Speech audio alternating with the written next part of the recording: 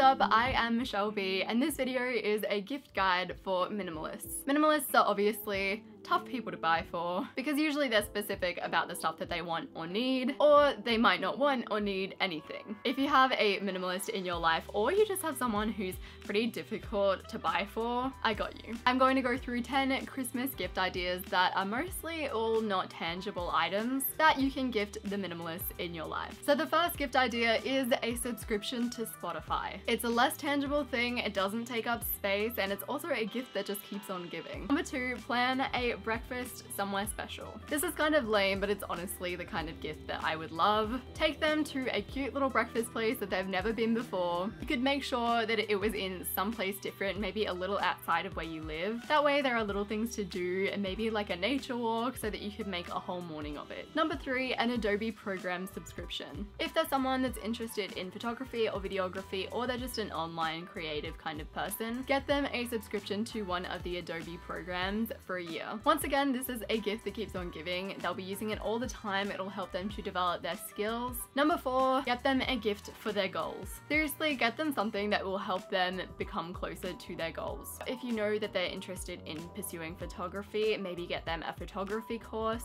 Getting someone a gift for their goals is just a really thoughtful gift. It shows that you put the effort in to think about it and make it specific to them. And you know that it's something that they'll use. Next, get them a concert ticket. If you really love this human, get them a concert ticket or just get them a ticket to see like a musical or a show of some kind. Next up, get them a gift to make their life easier. Even a meal subscription service for a few weeks. You could even literally cook them a week's worth of food that you know that they like. These are gifts that will let them live a little bit carefree for a while and give them time to focus on the stuff that matters to them. Gift idea number seven is to replace something that you know needs replacing. Even if they're a person that really does not have much, they might have something that they use that's running out.